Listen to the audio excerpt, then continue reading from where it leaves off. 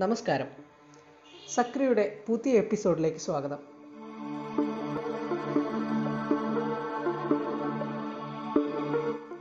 Time travel സീരീസിന്റെ മൂന്നാമത്തെ എപ്പിസോഡാണിത്.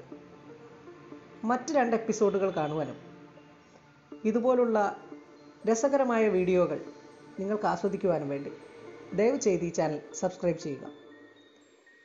ഇന്ന് നമ്മൾ പറയാൻ പോകുന്നത് നമ്മൾക്കേവർക്കും പരിചിതമായൊരു വിഷയമാണ്. എന്നാൽ നമ്മൾ ഇത്ര നാൾ ചിന്തിച്ചത് ശരിയാണോ എന്ന് നമുക്ക് നോക്കാം. ഭാവി ഭൂതം വർത്തമാനം നമുക്ക് അറിയാവുന്നതാണ്. ചുരുക്കത്തിൽ ഇന്ന് ഇന്നലെ നാളെ. ഇതിലെന്താ ഇത്ര ചിന്തിക്കാനെന്ന് പറഞ്ഞ് തള്ളിക്കളയാൻ വരട്ടെ. നമ്മൾ ടൈം ട്രാവലിനെ പറ്റിയാണല്ലോ പറയുന്നത്. ഇപ്പോൾ നമുക്ക് ടൈം ട്രാവൽ ചെയ്യാൻ കഴിഞ്ഞു എന്ന് കരുതുക.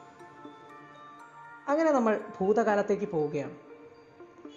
അങ്ങനെ ഭൂതകാലത്തേക്ക് പോകണമെങ്കിൽ നമ്മൾ ഭൂതകാലമെന്ന് വിശേഷിപ്പിക്കുന്ന കാലം ഇപ്പോഴും നടന്നുകൊണ്ടിരിക്കുകയാണെങ്കിൽ മാത്രമല്ലേ പോകാൻ കഴിയൂ? നമ്മൾ ചിന്തിച്ചു വെച്ചിരിക്കുന്നത് ഭൂതകാലം എന്നാൽ കഴിഞ്ഞു പോയ കാലം എന്നല്ലേ? അങ്ങനെയാണെങ്കിൽ ഭൂതകാലത്തോട്ട് പോകാൻ കഴിയില്ലല്ലോ. ഇനി ഒരു ഫിലോസഫി പരിചയപ്പെടുത്താം. പ്രസന്റിസം ഈ ഫിലോസഫി പ്രകാരം ഭൂതകാലമോ ഭാവിയോ ഇല്ല. എല്ലാം ഇന്നിന്റെ വകഭേദങ്ങളാണ്. ഇന്ന് നടക്കുന്ന മാറ്റങ്ങളാണ് ഭാവിയോ ഭൂതകാലമോ ആയി നമ്മൾ ചിന്തിക്കുന്നത്. എല്ലാം തന്നെ ഇന്ന് എന്നതിന്റെ വകഭേദങ്ങൾ ആണെങ്കിൽ ഇന്നലേക്കോ നാളേക്കോ പ്രസക്തിയില്ല. അപ്പോൾ ടൈം ട്രാവൽ സാധ്യവുമല്ല. ഇതാണ് പ്രസന്റിസം എന്ന ഫിലോസഫി പറഞ്ഞു വെക്കുന്നത്. എറ്റേണലിസം അഥവാ ഫിലോസഫി ഓഫ് ടൈം.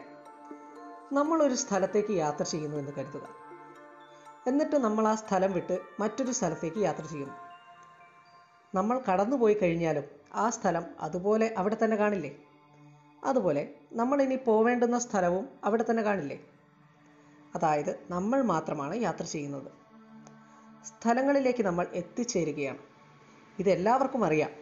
എന്നാൽ എറ്റേണലിസം പറയുന്നത് ഇതാണ്. ഇവിടെ സ്ഥലത്തിന് പകരം സമയമാണെന്ന് കരുതുക. അതായത് നമ്മുടെ ഭാവിയും ഭൂതവും ഒക്കെ അവിടെ തന്നെയുണ്ട്. നമ്മളാണ് യാത്ര ചെയ്യുന്നത്. നമ്മുടെ ഫ്യൂച്ചർ ഇവന്റ്സ് എല്ലാം തന്നെ ഓൾറെഡി അവിടെയുണ്ട്. നമ്മൾ ഒരു സ്ഥലത്ത് നിന്ന് മറ്റൊരു സ്ഥലത്തേക്ക് യാത്ര ചെയ്യുന്നത് പോലെ സ്ഥാനചലനം നമുക്ക് മാത്രമാണ്. എറ്റേണൽസ് പ്രകാരം ടൈം ട്രാവൽ സാധ്യവുമാണ്. കൂടുതൽ വിവരങ്ങളുമായി അടുത്ത എപ്പിസോഡിൽ കാണാം.